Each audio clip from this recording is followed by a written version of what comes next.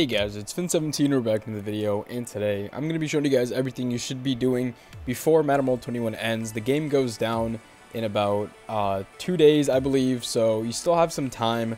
Um, so before we do start, please make sure to leave a like on the video, follow my Instagram, and join my Discord. Link will be in the description. We're about 200 subscribers away from 8k, so if you guys could please subscribe, it really mean a ton. Let's try to get 100 like on this video, that'd be awesome. So, um, you know, the game ends in two days, and basically uh, we got a little bit of content yesterday um, in terms of preseason promo, so let's just start there. Uh, that's the first thing you're gonna want to do is take advantage of these, um, you know, these uh, preseason events because you get triple the rewards until the end of the year.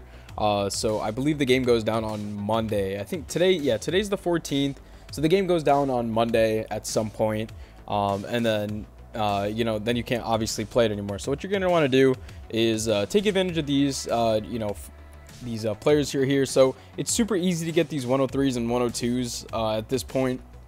Uh, I've done you know this set one time, this set two times, this set two times, and then this set one time. But I've you know I've kept all these players on my team. But if you want gameplay with any of these masters, especially pits, um, I'd recommend, you know, getting those 103s and 102s, and then all you got to do is pretty much just get the shields, uh, which is easy enough. So I've really been focusing on trying to get all the 103s and 102s for my team for the end of the year. Um, I will kind of have like a goodbye MM21 video, but this is what the team is looking like right now. I did exchange some max players, you know, just for a little bit of a change. Uh, and as you can see, uh, still needs a little bit of work, but you know, uh, yeah. So hopefully I can uh, I can change that as well. But yeah, guys, make sure to take advantage of these, uh, you know, triple like triple rewards here. So that's pretty cool. That's the first thing you're gonna want to do um, before the game ends.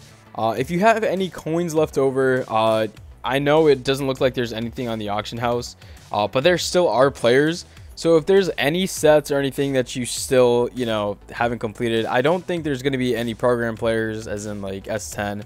I'd be, yeah, okay, so they're all bought out. Like people just absolutely overspent. So if you want to complete any of the, you know, fan favorite sets, uh, if you're bored on the game, anything, uh, th this is a great opportunity to do that. I know it doesn't seem like there's a lot of players anymore uh, you know, all these players are set to expire very, very soon. So if you want to complete any of these, you know, any of these sets, buy these players from the auction house, or you could just open up pro packs. Uh, because coins expire, guys. Remember, you got to make sure to spend them.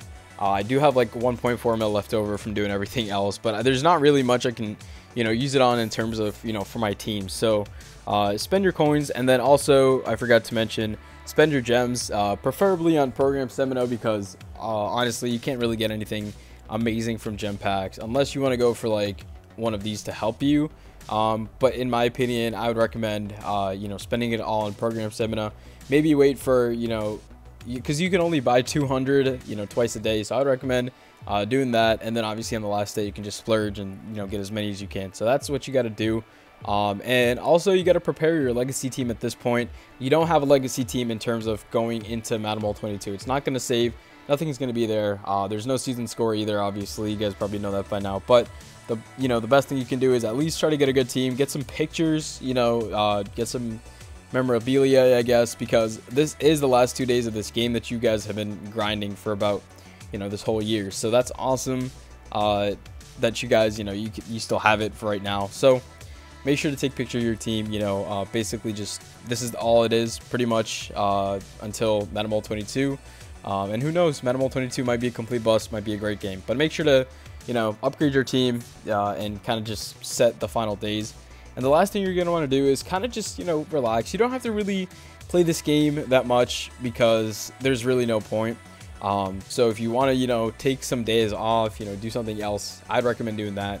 Uh, because, yeah, game goes down in two days, you know, nothing is really safe. So uh, best thing you can do at this point is kind of just, you know, forget about it until MM22, wait for more MM22 news, and basically that's it. So hopefully you guys enjoyed. Um, enjoy the rest of MM21 while it lasts, because uh, it was a pretty good year.